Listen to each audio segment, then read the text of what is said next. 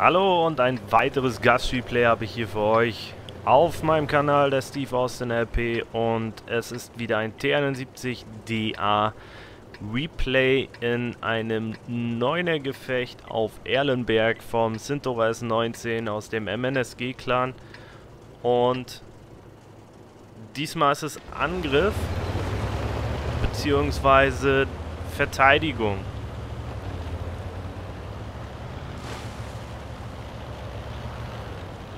Bedeutet, dass das verteidigende Team 10 Minuten Zeit hat, ähm, am Leben zu bleiben und den Gegner nicht cappen zu lassen.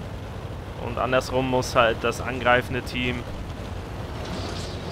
versuchen, ja, genau dies zu erreichen.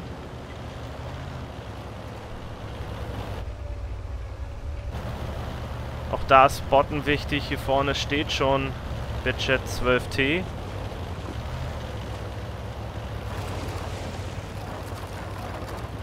Dort ist ein Leo gespottet. 1390 und Löwe.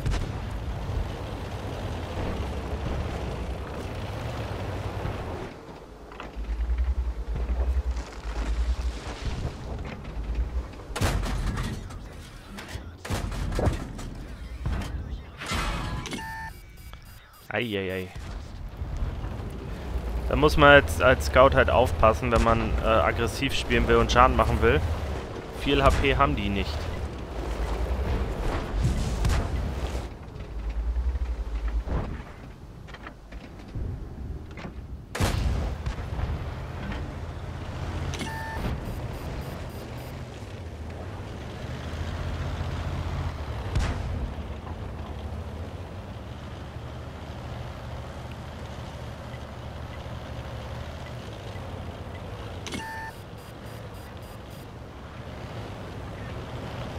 Natürlich jetzt ein bisschen riskant, weil man nicht so recht weiß, wo die TDs sind von den Gegnern.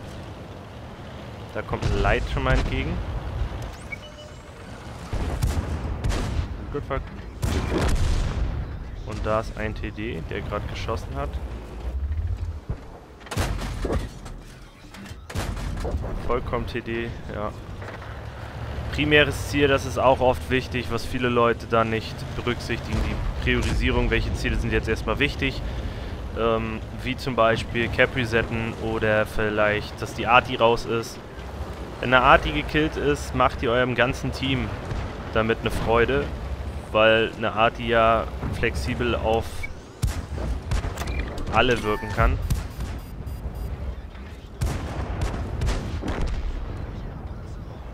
So.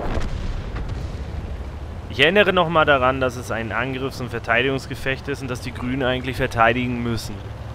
Generell kann man das so spielen, dass man dann auf die Seite geht und die Kanonen Richtung Cap richtet. Taktisch gesehen ist das gar nicht so unklug.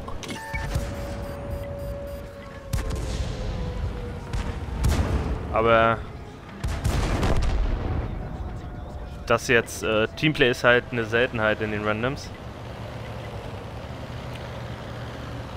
Und da fehlt, fängt dann wieder diese ewige Diskussion an. Viele gehen halt nur auf Schaden.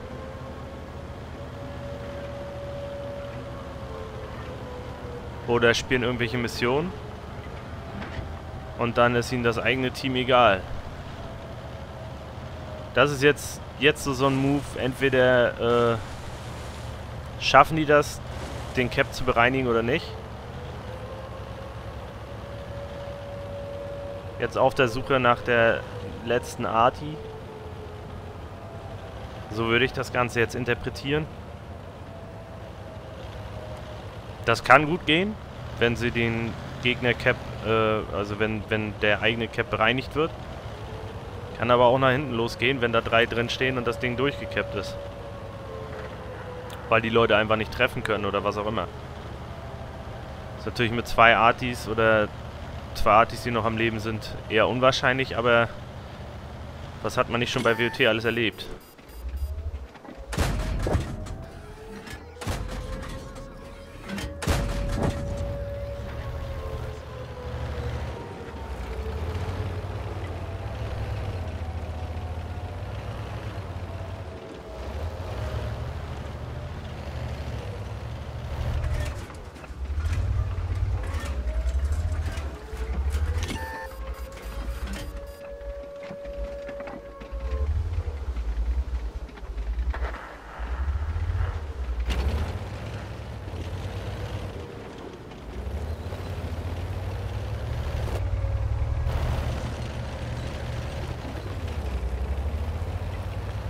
Bisschen rumspielen mit dem gegnerischen TD. Runde ist gelaufen, ist ein 7er Medium-Komet und der WZ und die Arti. WZ hat jetzt verschossen. Uiuiui, ui, da liegt es beinahe noch auf der Seite.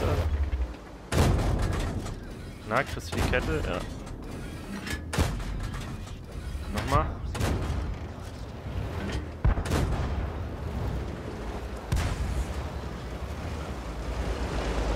Ah. Unnötig. Aber passiert, ist eh durch jetzt die Runde.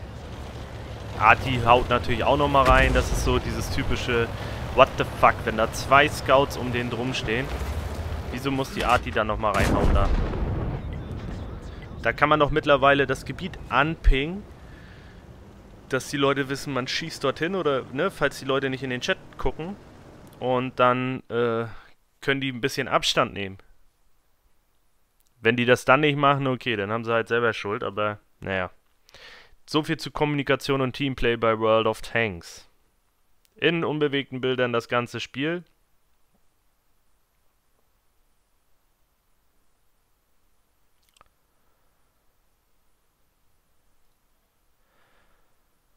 In unbewegten Bildern das ganze Spiel, wie ihr seht. Wieder ein M für die Runde dank der 2300 Schaden. Und nicht viel gespottet, so viel war da, hat sich nicht ergeben, war nicht möglich. Waren ja auch einige andere Scouts und mit unterwegs in dem ganzen Gefecht. Aber ansonsten war das in Ordnung. Ich bin euer Steve Austin LP und ich hoffe sehr, dass euch das Video mal wieder gefallen hat. Wenn ja, dann schreibt mit mir über die Kommentare und tauscht euch mit mir aus. Ich würde mich sehr freuen, wenn ihr das Video liked, wenn ihr es auf Facebook teilt und mir für meinen Kanal ein Abo hinterlasst.